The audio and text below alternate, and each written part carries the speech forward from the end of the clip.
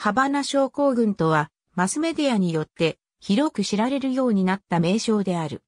2016年以降に発生した在キューバ米国及びカナダ大使館職員、在中国アメリカ領事館職員に対する音響、攻撃疑惑を指す。真相は不明である。ホテルナッツオヤナレイ、ハバナ症候群は、最初はキューバで、その後は中国で報告された。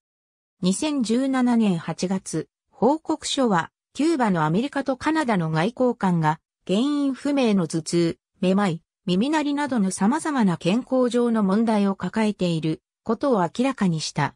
そして、これらの症状が不特定の技術を使用した攻撃の結果であり、おそらく音波を使用した音響攻撃ではないかと告発した。アメリカ政府は当初、事件をキューバ政府の責任にするのを避け調査を実施しなかった。だが、その後の数ヶ月にわたる捜査で、キューバ政府がこれらの症状を引き起こしている不特定の攻撃に関与したと非難した。キューバ政府は攻撃の関与を否定したが、2017年8月、レックス・ティラーソン国務長官は、キューバ当局は犯人を探す責任があると述べた。また、第三国の関与の疑いから、捜査当局が調査を開始した。アメリカは在キューバ大使館の職員を最小限に減らし、同年10月、当時のアメリカ合衆国大統領、ドナルド・トランプはキューバが攻撃の責任を負っていると主張した。だが、その主張の証拠は提示しなかった。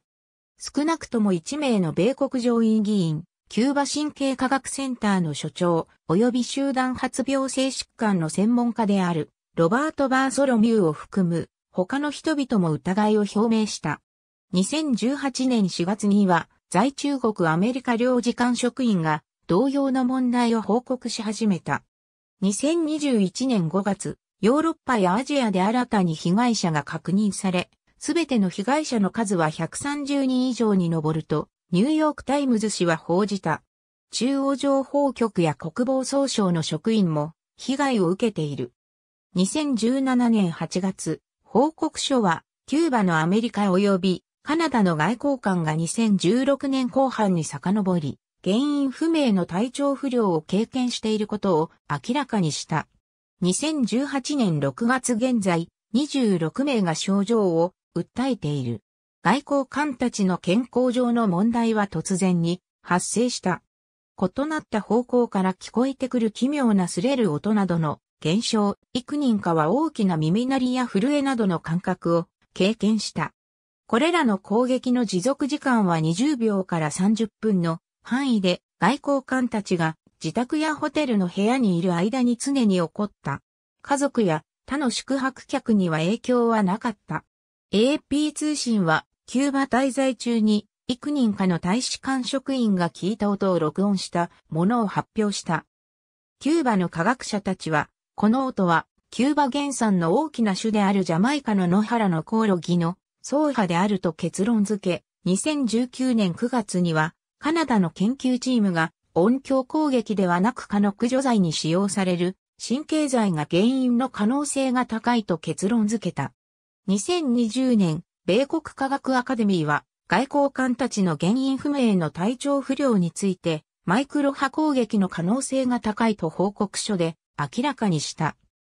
ハバナで米国大使館の一部の職員が聞いた音の記録波形スペクトル、ピークは 7kHz 現在、補聴器が必要と言われている1名の未確認の外交官を含む一部のアメリカ大使館の職員は持続的な健康への影響を経験していると伝えられている。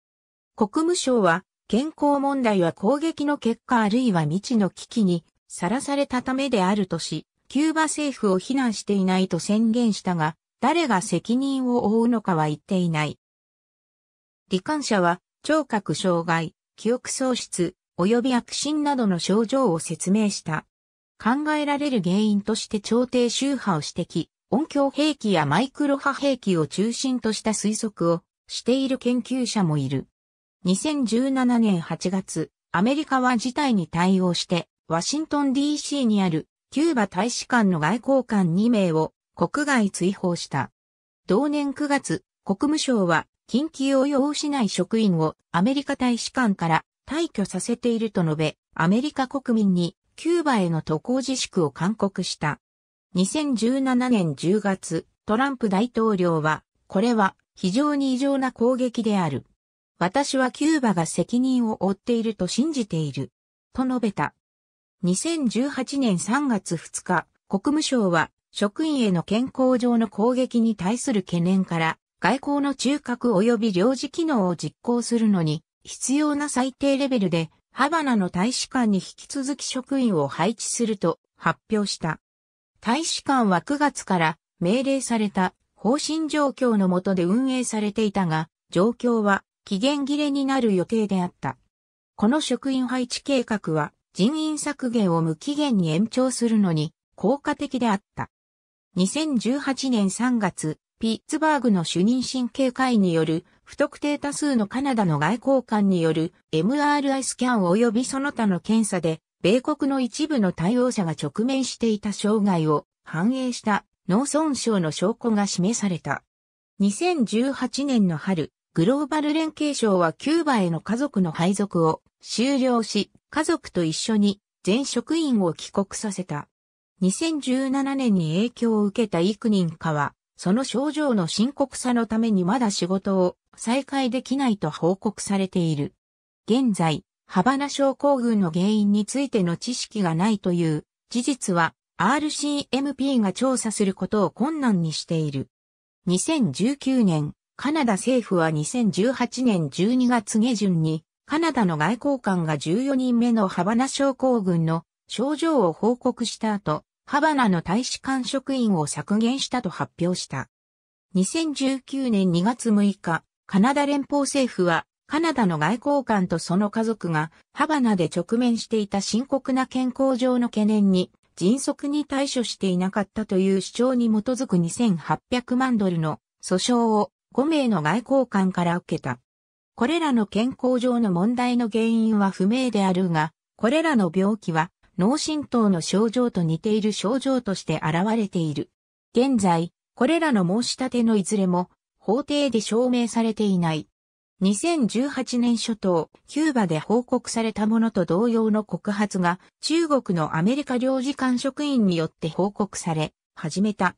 中国のアメリカ領事館職員によって報告された最初の事件は2018年4月、中国最大の米国領事館である広州の総領事館で起こった。